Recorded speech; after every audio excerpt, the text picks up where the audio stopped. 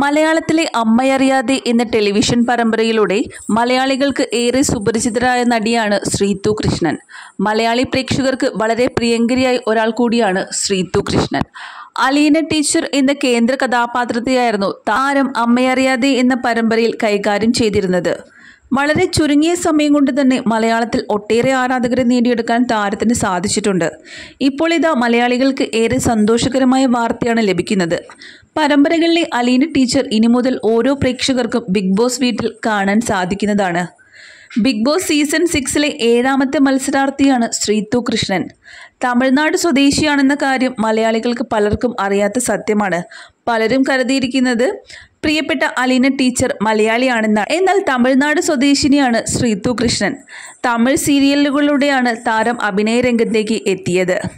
Social മീഡിയാസിൽ വളരെയധികം സജീവമായ താരം തന്റെ ലൊക്കേഷൻ സമയങ്ങളിൽ ഉണ്ടാകുന്ന രസകരമായ വിശേഷങ്ങളും ചിത്രങ്ങളും ആരാധകരുമായി പങ്കുവയ്ക്കാൻ ഒട്ടും മടി കാണിക്കാറില്ല.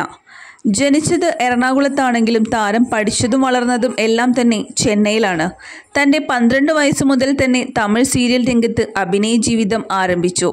സീരിയൽ കൂടാതെ ചില സിനിമകളിലും ശ്രീതുകൃഷ്ണൻ നല്ല കഥാപാത്രങ്ങൾ കൈകാര്യം ചെയ്തിട്ടുണ്ട്. ഒട്ടേറെ അവസരങ്ങളിൽ സിനിമയിൽ നിന്നും ഇപ്പോൾ താരത്തിന് ലഭിക്കാറുമുണ്ട്.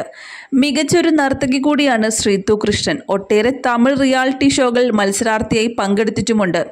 ഇപ്പോൾ ഇതാ നമ്മുടെ മലയാളത്തിലെ ബിഗ് ബോസ് സീസൺ സിക്സിലെ ഏഴാമത്തെ മത്സരാർത്ഥിയായി ശ്രീതുകൃഷ്ണൻ എത്തിയിരിക്കും ശ്രീതു കൃഷ്ണനെ സീരിയലുകളിലൂടെ കാണാൻ കാത്തിരുന്ന ആരാധകർക്ക് ഒരു സന്തോഷ വാർത്ത തന്നെയാണ്.